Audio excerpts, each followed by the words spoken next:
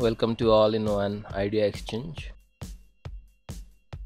How to increase VRAM in Windows 10 for that you need to first check how much VRAM is assigned to your Windows 10 go to start setting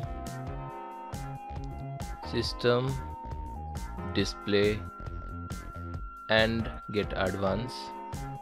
Click here here video memory is 128 MB if I want to increase it I have to change some registry setting.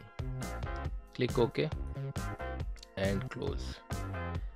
Go to Windows R write down there regedit then hit enter.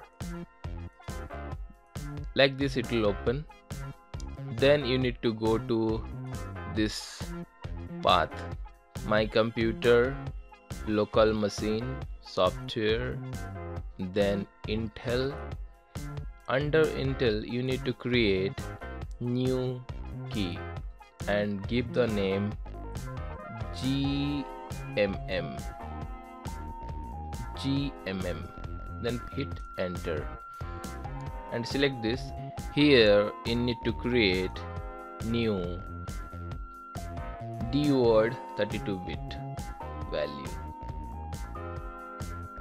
Click on that and give the name. This is on my screen. You can check. Dedicated segment size.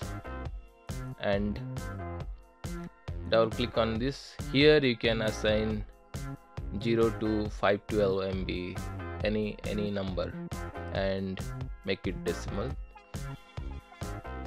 press ok. Then you need to restart your PC I hope you enjoy the video. See you in the next one. Thank you. If you like it give a thumbs up to my video and comment and subscribe please. Thanks for watching.